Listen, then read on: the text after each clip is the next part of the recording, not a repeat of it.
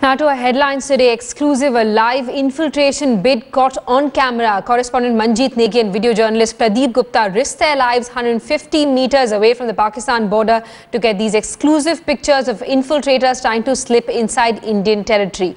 Take a look.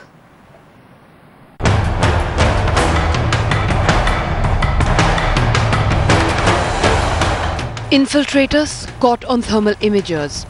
हम अखनूर में सेना की एक अजीम पोस्ट पर मौजूद हैं और यहाँ पर रात के वक्त जो सेना की निगरानी है वो और बढ़ जाती है वन टारगेट ये पाकिस्तानी पोस्ट है और इसकी अगर दूरी की बात की जाए तो सिर्फ़ 150 मीटर की दूरी पर ये पाकिस्तानी पोस्ट है and then two more.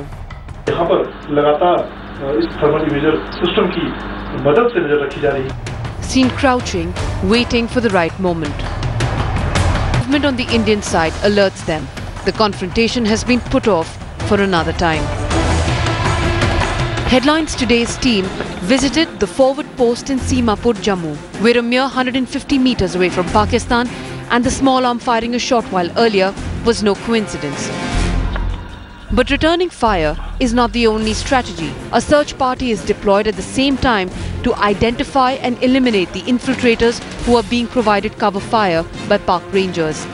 जब भी पाकिस्तान का फायर आता है तो हम फायर का जवाब फायर से देते हैं। और हमारे 24 घंटा पेट्रोलिंग चलती है दो बंदे बड़ी पैर में पोस्ट टू पोस्ट 24 घंटे निगरानी करते हैं। But after the green signal from New Delhi, the BSF is prepared to answer Pakistan not just in equal but more aggressive measure. हम दुश्मन से लड़ने के लिए 24 घंटा तैयार है। सरहद पर हम 24 घंटा निगरानी रख रहे हैं।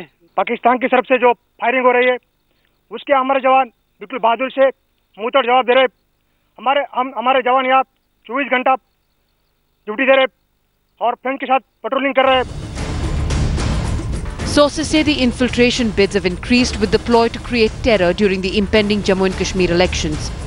Pakistan's window dressing stood exposed when their guns fell silent for 48 hours when the United Nations team was visiting, and the coming winter brings with it a grave warning for the valley.